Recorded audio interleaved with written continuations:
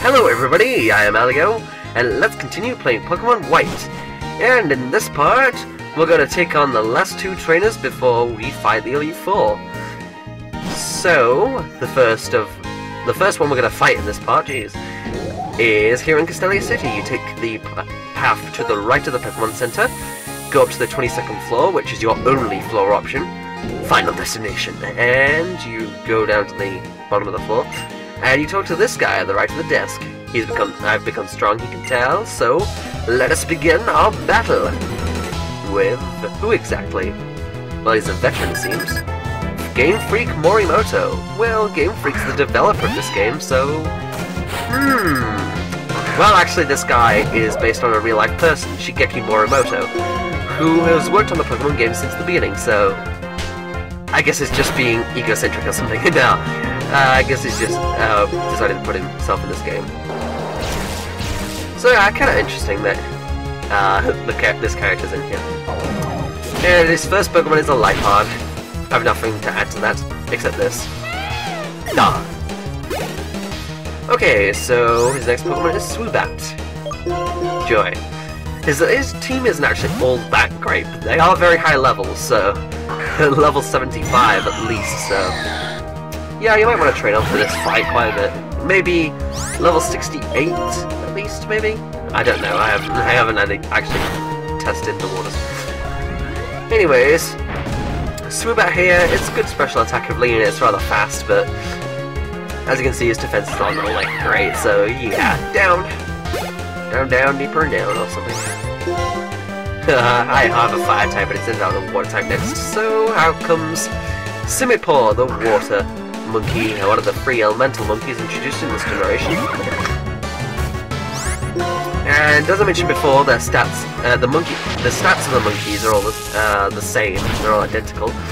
Uh, they're rather good offensively, uh, at least uh, definitely earlier in the game, and they're certainly fast. Uh, but their defenses are really lackluster. So if you can survive one hit from them and just get a hit in of your own, then they go bye bye quite quickly. And now here comes out the second monkey, Joy. Guess what? He's got all three of the monkeys. I, I swear, these monkeys are just so common. I mean, like, there's always a tree of them, like, everywhere. It's crazy. Monkeys are taking over. The apes are taking over. Anyways, Simisear. I never quite understood Simisear because it's a fire monkey, and we've already had a fire monkey from Generation 4. It was a, and it was a starter too, Chimchar. You darn Chimchar ripoff. And Chimchar was actually pretty cool. I never actually used him as a starter, but I probably it, I was actually thinking of restarting Generation 4 quite soon, so maybe I should choose Chimchar as a starter. That'd be cool. Anyways, from Generation 4, let's go back to Generation 5 here. Because this is his Substreaker. Yeah, it's, definitely fast, and I, guess, I think it's a good attacker, but... Uh, Quick Earthquake will put it in its place. Thing to note, though, is uh, it's probably his best Pokemon. Uh, but other than that, it's level 77, one of the three highest uh, level Pokemon you can actually face in this game. So that's interesting. I guess. Again, I just call everything interesting for some reason. And his last Pokemon is the Simisage, the Grass Monkey. Tufty ears, and he's got like... I just... Yeah, that, that style of hairdo, that's just... I'm not entirely sure what that's called, but... Anyways, and after all, I am the strongest and the greatest. Is that what he just said? Wow, that's so egotistical. he really is being an egotist. Anyway, come back again tomorrow. Yes, you can come back and fight him any day you like for extra experience if you so wish. If you so desire. If you so desire. Anyways, I will see you in Undella Town for our second battle of the part. And here we are in Undella Town, and oh boy, it's time! Remember I mentioned there was a optional boss here in this house? Well, we're gonna do it, and it's probably my favorite fight in the game! Yes, it's Cynthia! One of the Calian resemblance. It's surprising to meet another trainer who has intense eyes like that Pokemon trainer. What's your name? Okay, I'll remember that. Elliot, nice to meet you. I'm Cynthia. I'm a Pokemon trainer, too, like you. A champion, too? Uh, did you forget to mention that note? researching Pokemon myths. I show you know around Down and Dilettante's Abyssal Ruins. Yeah, been there, done that. And she also also want to investigate them. In order to get to know each other better as trainers, I would like to have a Pokemon match. Would you care to be my opponent? Aw, oh, heck yes! Before I say no my Pokemon, my heart always begins to race. Interesting.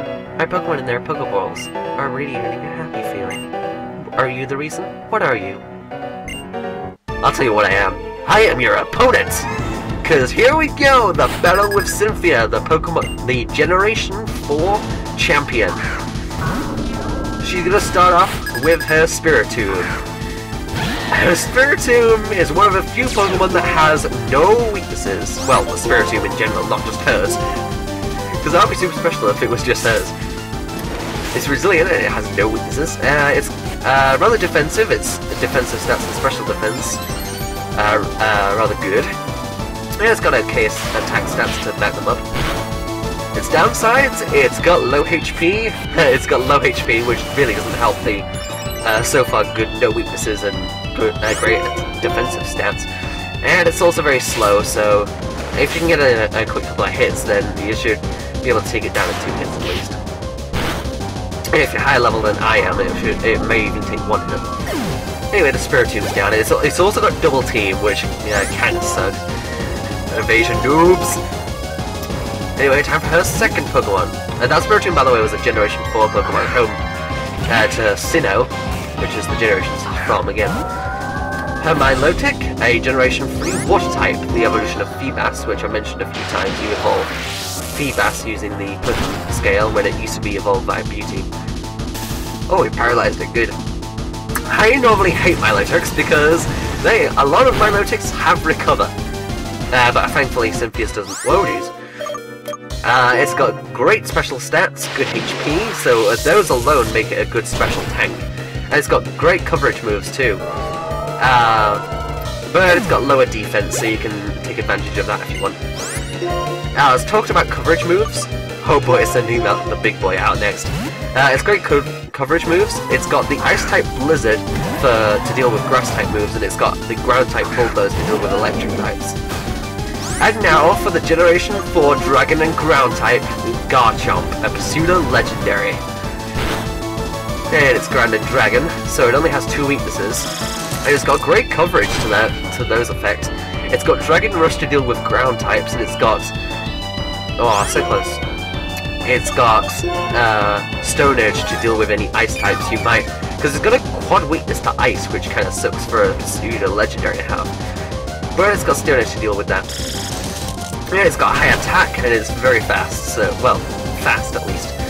But it's got lower special defense, so if you've got something with an Ice Beam that isn't gonna uh, be killed straight away, like my Daikenki here, especially if you're not using Ice type exclusively, then there you go, that Garchomp isn't too bad. And it's level 77, so one of the three highest level Pokemon in the game. And now for our next Pokemon, Eelektross, and this kind of replaces a Pokemon from their past generation because this is a Generation 5 Pokemon, so she obviously didn't have it last generation. Eelektross is resilient because it's got no weaknesses because it's even though it's electric type, it's got levitate, so its ground type weaknesses uh, neutralized.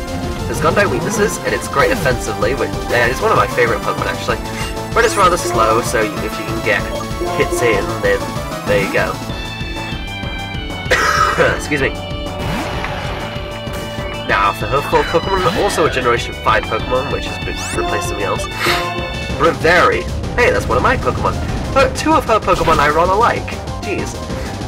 Great minds think alike, I guess. She's got, eh, it's got high attack and good HP, but it's got low attack defensive, so if, uh, if you can get some uh, hits in, you can probably get two hits on you, two uh, fast and powerful hits on you, but otherwise, you can pretty much deal with it quite easily.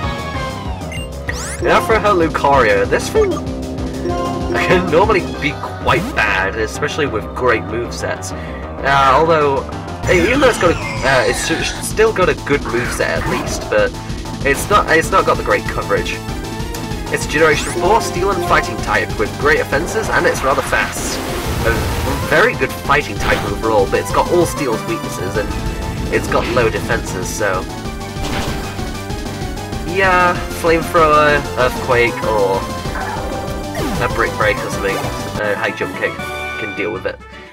And there you have it, my favourite fight in the game. Also, it's worth noting that if you can beat Cynthia here, you're pretty much ready for the Pokemon League, because her level's the same as the champions. You certainly bear a resemblance to that trainer who faced Giratina. Aha! Pokemon Platinum reference! I love the piano music too. So crazy.